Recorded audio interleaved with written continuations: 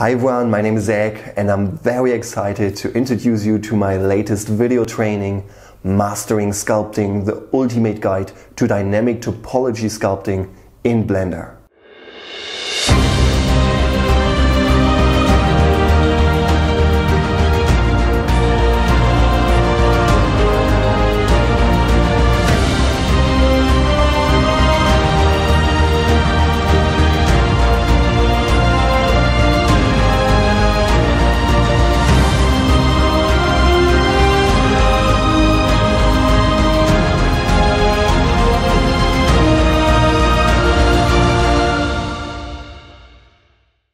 In a nutshell, this video training will teach you on a beginner level how to use the sculpting tools in Blender and it will finish on how to get the most out of Blender with professional workflows, tips and tricks. Over 60 videos with a total running time of about 12 hours awaiting you. This workshop is available as download only and only in English language. Digital sculpting is a common task in the CG industry nowadays, for example for creating characters, creatures, assets, environments, but also for 3D printing or cleaning up 3D scans, the sculpting tools are very useful. So in general, digital sculpting is just a different approach on modeling in 3D. Unfortunately, professional sculpting tools are very expensive like ZBrush. ZBrush is, without a doubt, the most professional sculpting tool out there, but if you don't have the budget or just want to use Blender and open source, then Blender is a very good and powerful alternative. This workshop contains four main chapters. In the first chapter you will learn all the tools, brushes, settings, sculpting techniques, so this is a perfect chapter to get you started if you are completely new to sculpting. Also I will show you some useful add-ons which you can use to improve your sculpting workflows. In the second chapter we will create this little cute monster from start to finish and nearly everything in real time. That means if you are completely new to sculpting, you can basically follow every single stroke I will do to sculpt this creature out of a cube.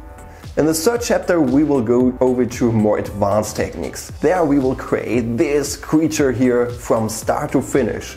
But we will fast forward some of the parts because we will focus on the main workflows and main tips and tricks and skip the repeating stuff. So if you want to learn the more professional workflows, this chapter is for you. So and the fourth and final chapter is about procedural shading methods. Since we will only focus on dynamic topology sculpting, our mesh will have a lot of polygons and a very bad topology. Certainly there are workflows to clean this up with retopology and stuff like this, but this is not what we want to focus on in this course. We will only focus on dynamic topology sculpting and how we can present these sculptings in a nice way. And this is what the last chapter is about. Besides all these videos, you will also get the project files and some other bonus content. More about this you can read on the product page. So now you may be asking yourself, do you need anything in order to follow this workshop? Well, first of all, you should know the fundamentals of Blender. That means navigation, how to use the modeling tools and stuff like this. Although this workshop is also meant for sculpting beginners, this does not mean that you can start with zero knowledge about Blender.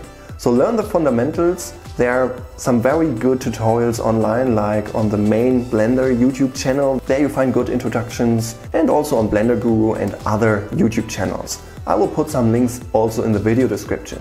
And the second important thing is I would recommend to use a graphics tablet because there you have this pressure sensitivity that means you can control how strong your strokes in the sculpting mode should be and stuff like this. I'm using a Wacom Intuos Pro M. In general I can recommend the company Wacom. It doesn't matter which size you have. Also with a small size tablet you can do very good sculptings. You can sculpt with a mouse, but yeah, I guess with a graphics tablet it makes much more fun. Yeah guys, I've put a lot of time and work into this workshop and I'm very excited to finally share this video workshop with you guys. Thanks for watching and hopefully we see us in this workshop.